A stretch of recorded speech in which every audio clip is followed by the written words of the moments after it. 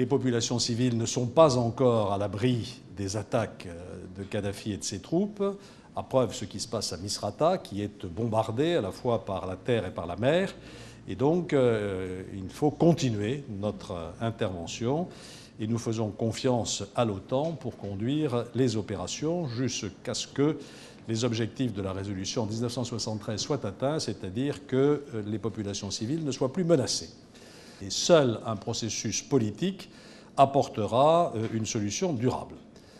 Ce processus politique, euh, il appartient aux Libyens de l'engager, de le définir et de le conduire à terme. Ce sont les Libyens qui choisiront leur euh, avenir, leur régime politique, et certainement pas la coalition internationale. Il n'y a pas d'avenir pour Kadhafi en Libye.